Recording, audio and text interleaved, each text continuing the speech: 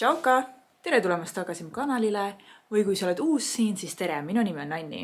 tänases videos jagan teile oma viimase aja lemmikuid nahahoolduse ja, ja ilutooteid. siin ei ole ühtegi kosmeetikatoodet äh,, on nahahooldust, on juuksetooteid, on üks deodorant. Need on tõesti need tooted, mida ma viimase kuu-kahe jooksul olen kasutanud. osasid nendest ma olen kasutanud ka pikemalt juba, aga teised on tõesti sellised uued lemmikud, mis äh, tundusid piisavalt head, et ka teile jagada. nii et äh, hakkame siis vaikselt pihta. ja esimese asjana tahan sulle jagada ühte kosmeetika või siis nii-öelda ka tualetttarvete kotti, mille ma leidsin endale Tigerist. ta on selline toredalt kummine äh,, sinine ja sellise väikse võrgumustriga neli eurot just äh, mingi nädal aega tagasi umbes Tigerist ostetud. nii et kui sa oled otsinud endale sellist suhteliselt ruumikat, suurt ja veekindlat ähm, kosmeetika või siis sellist tualetttarvete kotti, siis äh, siit on küll väga mõnus soodne ja väga nunnu soovitus sulle. nii et see on esimene lemmik viimasel ajal. nii, paneme ta siia taha. ma alustan vist äh, toodete mõttes šampoonist jah, ma alustan sellest šampoonist, mis tegelikult äh, tänase video idee üldse käima tõmbas. ja nagu sa võib-olla oled äh, näinud, siis äh, ma jagan tihti ka oma tühjade toodete videot, kus ma siis jagan oma viimase kahe kuu jooksul umbes kasutatud erinevad nahahoolduse ja mis iganes ilutoodete pakendeid ja tihti selles videos jagan ka oma šampooni kogemusi. aga see šampoon tõesti ei suutnud oodata jagamise mõttes tühjade toodeteni, vaid ma tahtsin teda jagada teile juba varem. tegemist on siis Live Clean, sellise argaanõliga taastava šampooniga ja ta on väga-väga looduslik ja roheline, võiks öelda. teda tuleb kolmsada viiskümmend milliliitrit, nii et täitsa selline natukene suurem pudel kui tavaliselt. ja Live Clean on ainulaadne keskkonnasõbralike iluhooldustoodete sari, mis pakub siis looduslikke taimseid koostisosi, kasutades erakordseid tulemusi. no ütleme niimoodi, sõnad on päris ambitsioonikad, aga ta on tõeliselt mõnus šampoon taimedest saadud, sertifitseeritud orgaaniliste taimedega, SLS-vaba, vaseliinivaba, kokamiidi DEA-vaba, parabeenivaba, silikoonivaba, ftalaadivaba, fosfaadivaba, värvivaba, puhas vegan, pole kunagi loomade peal testitud, pakend on taaskasutatav, sisaldab biolagunevaid koostisosi, hüpoallergeenne, dermatoloogiliselt testitud. Okei okay,, see oli nüüd pikk-pikk nimekiri selle, mille vaba ta on mm,. lõhna mõttes ah, magus, selline kreemine lõhn, nihuke äh, parfümeeritud on ta kindlasti. aga tal on väga meeldiv lõhn minu jaoks. see on selline nagu, meenutab nagu vaniljet või midagi sellist, aga ta ei ole nagu ähm, selline paha vanilje. Ja ma loodan, et sa näed siit sellest pudelist ka, et ta on nagu selline kreemine. Ja ta tõesti vahutab väga mõnusalt, ta peseb juuksed väga mõnusalt puhtaks. teda kulub tegelikult vähe, sellepärast et ta tõesti vahutab pigem tugevamalt. Ja juuksed jäävad pärast nii säravad, mõnusad, puhtad, niisutatud, super mõnus šampoon et sellepärast ma tegelikult tahtsingi tänast videot üldse teha, sest et see šampoon lihtsalt hakkas mulle nii, nii, nii meeldima, kui ma seda kasutasin. Ja siis otsustasin teile ka seda nagu tänases videos jagada. seda šampooni leiab Kaubamajast, mina ostsin ta endale Prismast, võib-olla isegi suurematest Selveritest ja ta ei ole üldse väga kallis. just käisin Prismas, et lihtsalt kontrollida, palju ma ta eest maksin, ma ei mäletanud enam.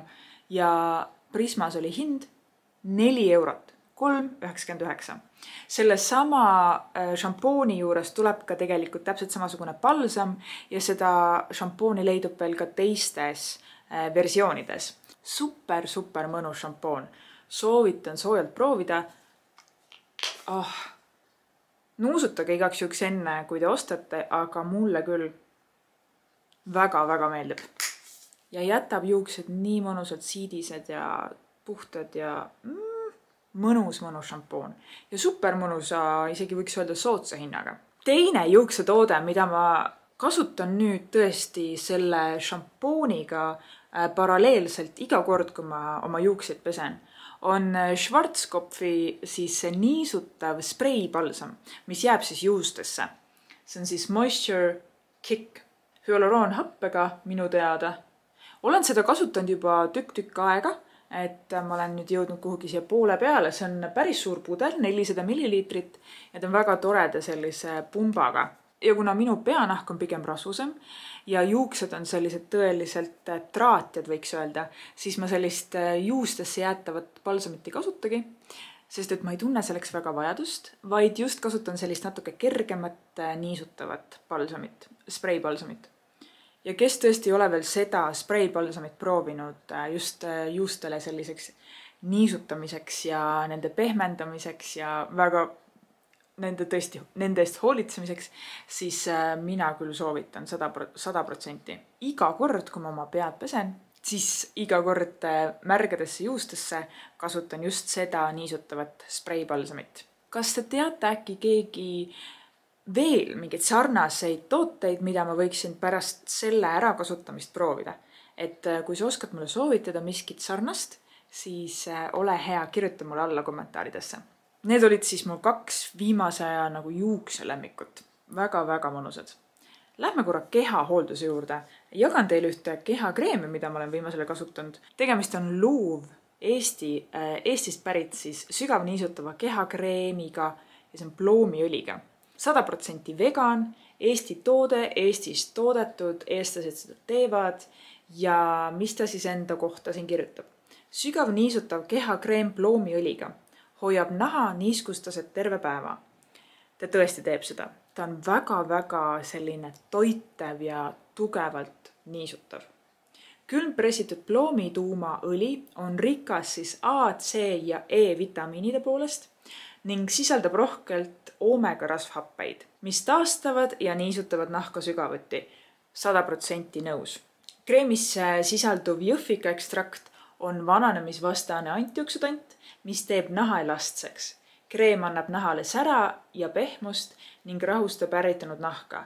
imendub kiiresti, ei ummista poore ja sobib ka tundlikule nahale selles sära osas ei pea nagu selles mõttes muretsema, et siin oleks sees äh, glitterit või mingit särapuudrit. ei, ei, ei, ei, selles mõttes kindlasti mitte. pigem, et ta jätab tõesti niisutatud ja sellise hooldatud naha. Äh, ja selles mõttes särava tulemuse. kiire imendumise osas ma nüüd, äh, ta ei ole nüüd nii kiire imenduja, et ta kaob jäljetult nahka. pigem peab tema osas ikkagi natukene töötama ja teda nii-öelda naha sisse masseerima aga ta on tõeliselt, tõeliselt rammus ja kuivale, väga kuivale nahale super hea. näitan sulle konsistentsi ka, et ta on selline tõesti vahune ja ta on ploomilõhnaline, aga väga mõnus lõhn ja selline tõeliselt tore, rammus, pehme, jätab naha imeliselt niisutatuna. et äh, super avastus ja väga toredas sellises potsikus. Eesti oma bränd, Love, suurepärane, viimase aja lemmik kehakreem äh,. nii, lähme siis edasi, võtame kätekreemi, mida ma viimasel ajal olen kasutanud ja selleks on äh, Misoni teolimaga niisutav kätekreem. selle võib, äh, seda võib muidugi kasutada ka jalgadel või kus iganes kehal ta tuleb päris suures sellises pudelis, seda on siin sada milliliitrit lausa. ja see kätekreem elab mu kotis igapäevaselt, ükskõik kuhu ma lähen, siis ma kasutan seda alati näiteks, kui ma käed olen ära pesnud ähm, või lihtsalt, kui tunnen, et äh, käed on kuivad. ja ta imendub väga hästi, ta jätab naha nii pehme ja nii mõnusa ta niisutab ka väga hästi minu jaoks küüneplaate või äh, küüsi siis ja küünenahkasid ja super, super tore. Kes ei taha endale teolimaga tooteid, siis Misonil on täpselt samasugust kreemi ka hüaloroonhappega ja vist kollageeniga, kui ma õigesti mäletan. nii et selles sarnases tuubis käte-jalgade kreemi on Misonil kolmes versioonis ähm,. minu meelest on ta ka suhteliselt mõnusa soodsa hinnaga e,, sest et siin on seda toodet lihtsalt niivõrd palju, sada milliliitrit ja kas ma õigesti mäletan, see on umbes neli viiskümmend või neli eurot või midagi sellist, et on tõesti väga mõnusa soodsa hinnaga ja super mõnus kätekreem. igapäevaselt kasutan. nii, ma hakkan kuhugi alla ära kukkuma, tulen siia ülespoole.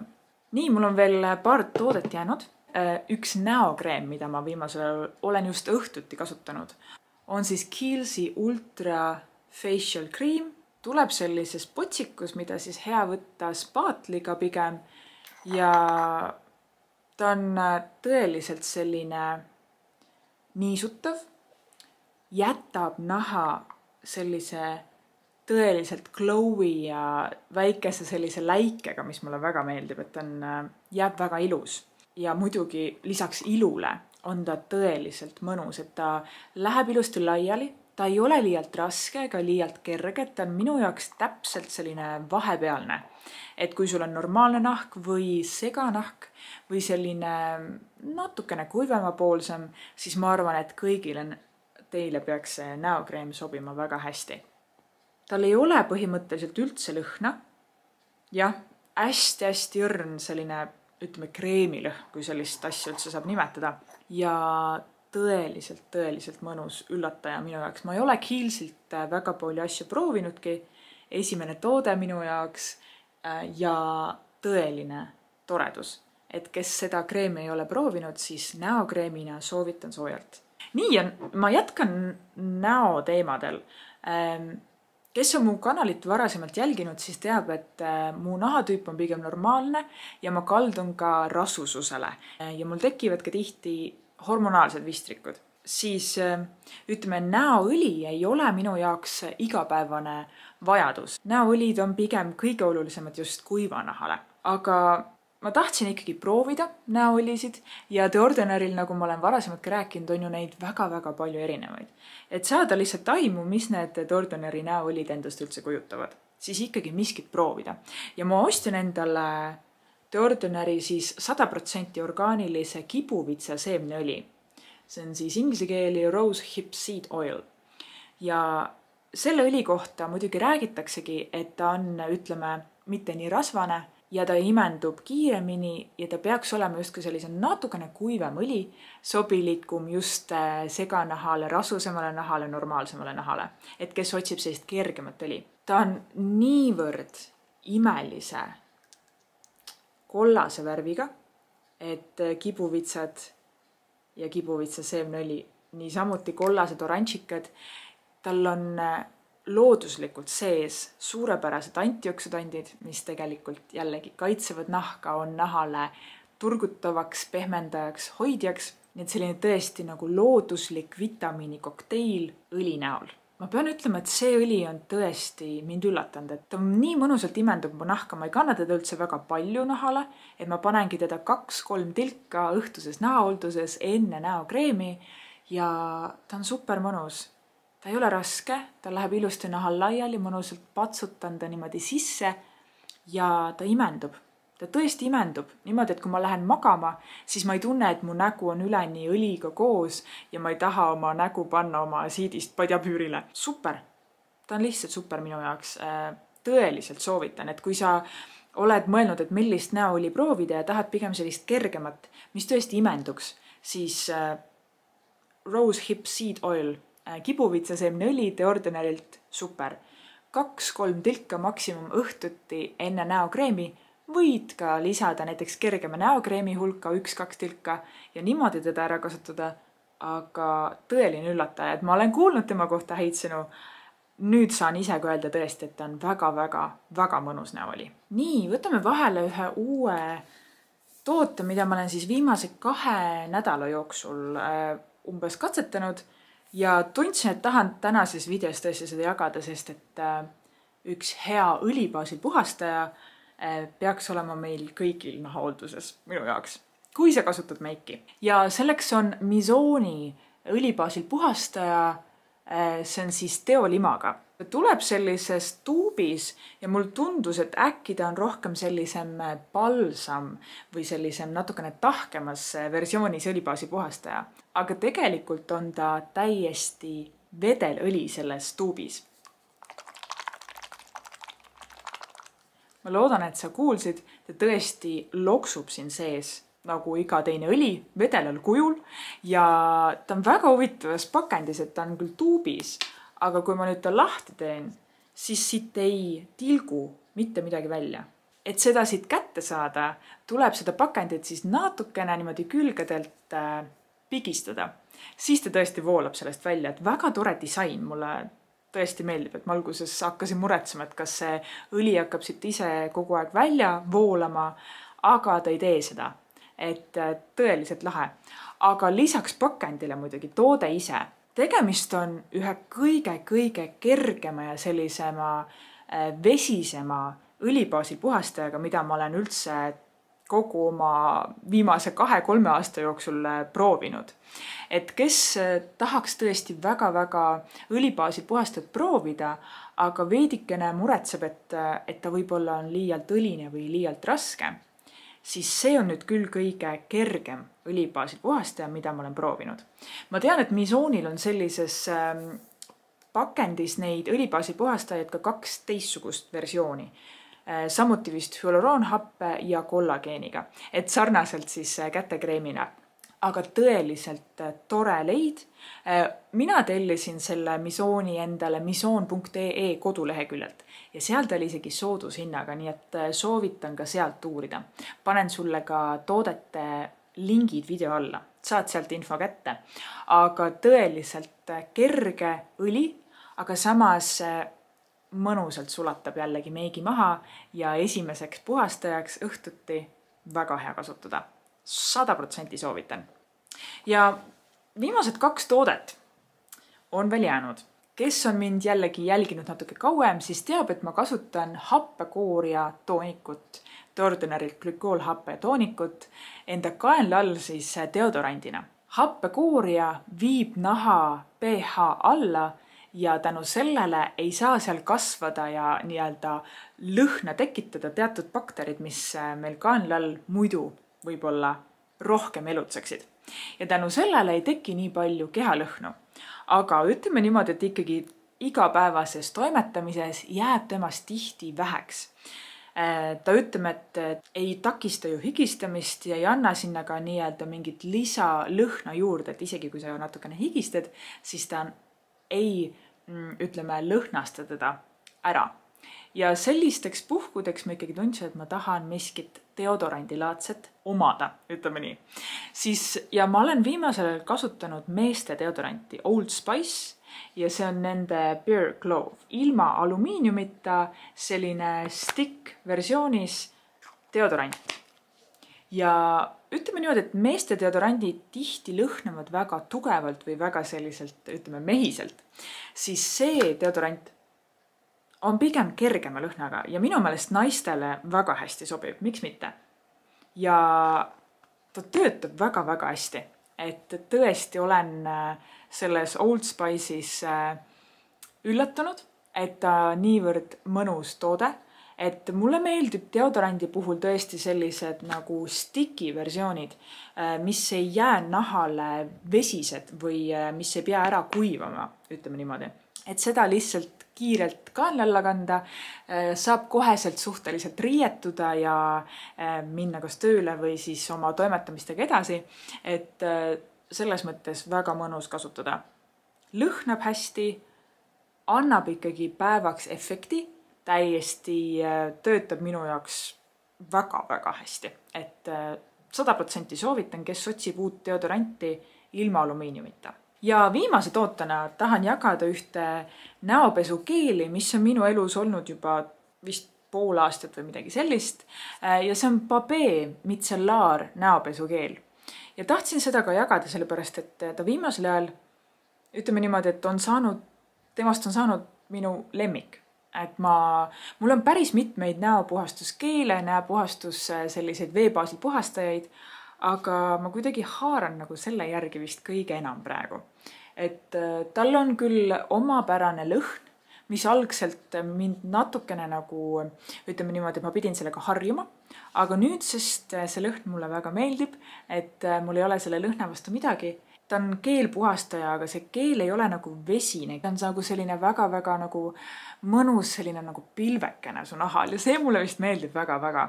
et ta on tõesti selline mõnus keelpuhastaja. ta on lisaks ka niisutav.